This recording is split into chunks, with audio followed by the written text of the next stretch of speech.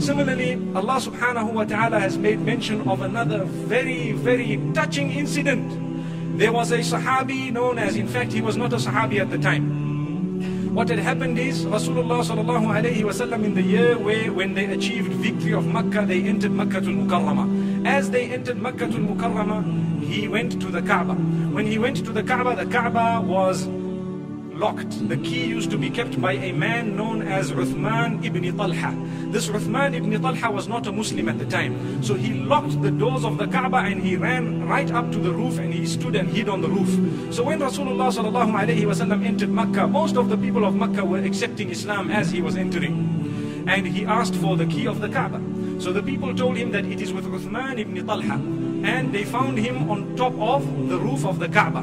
So Ali radiallahu anhu told him, Ya Uthman, give us the key. Here is Muhammad sallallahu alayhi wasallam asking for the key. And he said, O Muhammad, if I had believed that you were a prophet, I would have opened the doors a long time ago. What this means is I don't believe that you are a prophet, so I'm not going to open the door. And Ali radiallahu anhu happened to snatch the key from this man, Uthman ibn Talha. And he opened the door of the Kaaba and Rasulullah sallallahu alayhi wasallam entered the Kaaba and read two rakat salah in the Kaaba and Al-Abbas ibn Abdul Muttalib, the uncle of Muhammad sallallahu alayhi wasallam was there and he told Rasulullah sallallahu alayhi wasallam, Ya Rasulullah, do you know that I am in charge or our family is in charge of pouring water for the Hajis? Pouring water for those and quenching the thirst of those who come for Hajj. So if you hand the key over to us, we will have two points of honor. One is to pour the water and the other is to open and close and lock and open the door of the Kaaba as and when it is necessary. So Jibreel alayhi salatu wasalam came down with a verse inside the Kaaba. This is one verse which was revealed in the Kaaba. Subhanallah.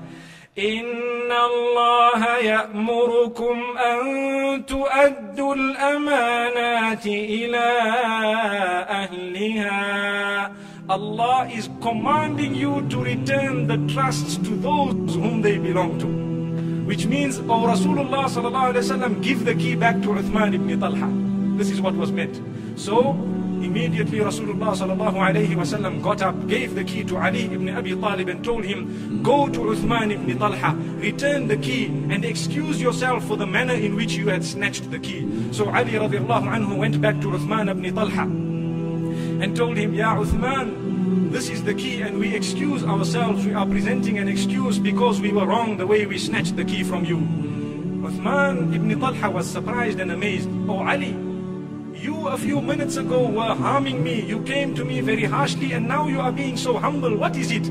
He said, Wallahi ya Uthman, قد أنزل الله فيك قرآنا. Wallahi, O Uthman, Allah has revealed regarding you Quran. Allah says, إن الله يأمركم أن تؤدوا الأمانات إلى أهلها. Allah has instructed Muhammad sallallahu alayhi wasallam to return this amana to whom it belongs to. For that reason, this key has been given back to you here. Immediately Uthman ibn Talha said, Inni ashhadu an la ilaha illallah ashhadu anna Muhammadan abduhu wa.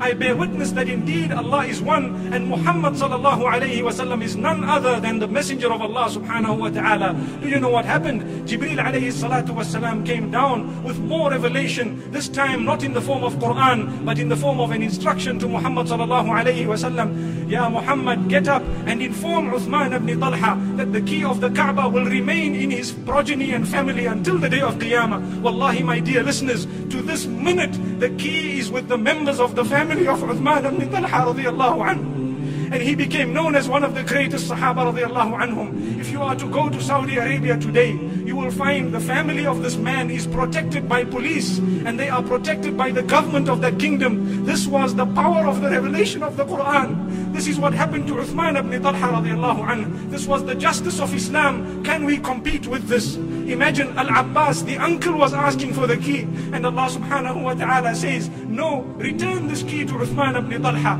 Subhana Rabbi al-A'la. A miracle is that up to this minute, wallahi, thumma wallah, the key happens to be in the hands of the same family members. Allah subhanahu wa ta'ala by His grace and mercy, has afforded myself the opportunity of entering the Kaaba on three occasions. And I have also read two rakats of salah. May Allah subhanahu wa ta'ala grant us the acceptance and make all of us enter it at one point or another. Wallahi, it was only the fadl of Allah subhanahu wa ta'ala. May Allah subhanahu wa ta'ala grant us all the acceptance.